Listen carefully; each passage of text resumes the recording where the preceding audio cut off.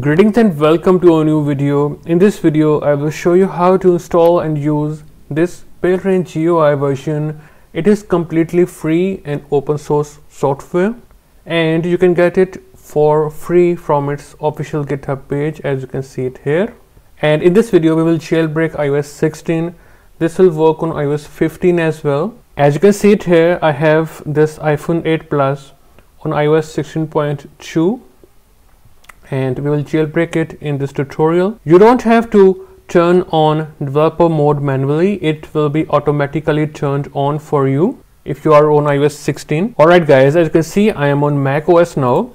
So simply first of all, open this official GitHub page for this software. Again, it is completely free and it will support macOS High Sierra also so the lowest version that it supports is High Sierra up to macOS Monterey. You can check out the page here. Simply scroll down and get the latest release from here. You will see this palera1n.dmg file. Download it. I have already downloaded this file as you can see it here. Before you begin, you will have to install some packages to make it work. It is very easy to do go to brew.sh this is also completely free. And then simply copy this code or command from here. Open a new terminal. And now simply paste this command here and press enter. Type in your mac password. Press enter. And let it finish. Alright guys. When the brew installation is complete now simply type in the commands. It is very easy. Brew install lib i mobile device lib i recovery and simply python. All right press enter and wait for the installation of these packages to complete. I have already installed them so as you can see them here for me it is done. Now you can simply close out of this terminal. And then we will start installing the DMG that we have downloaded. Double click double click again and finally open. Alright as you can see it here it is now open. You can close out of these windows.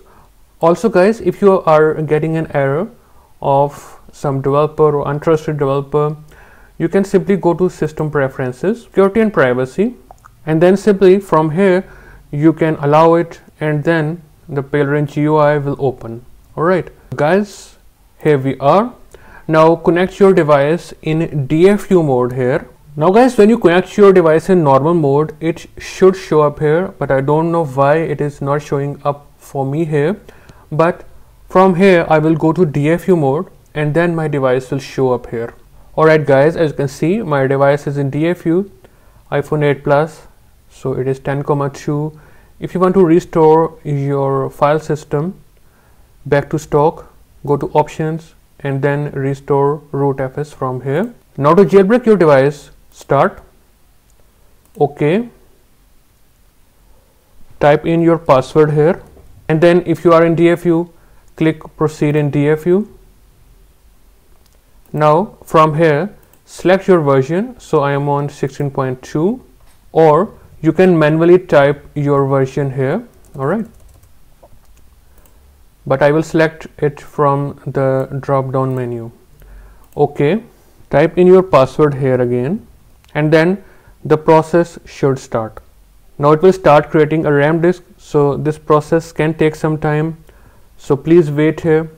Alright as you can see it is now booting my device up. Alright now it will start creating the file system as this is a semi-tethered jailbreak.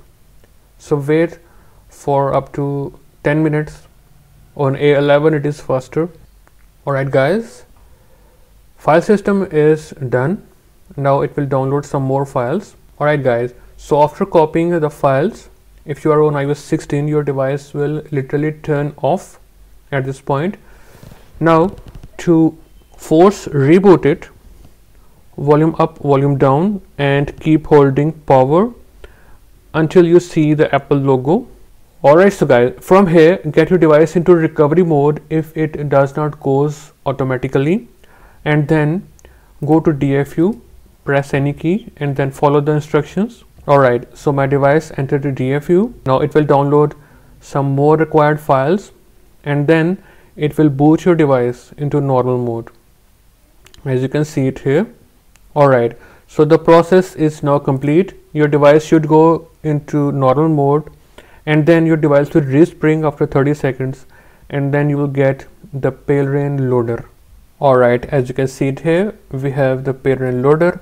Now simply open it and then install and then finally hit respring. You can check out the version I am on 16.2 iPhone 8 Plus you can also upgrade so that I can show you that it works.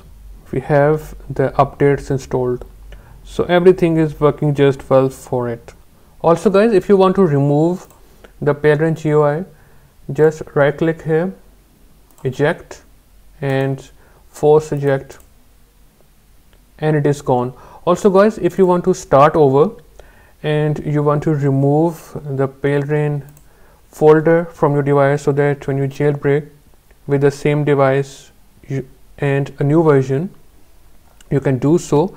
So type as cd temp slash temp. All right. Now ls you will see this Palera1n folder here.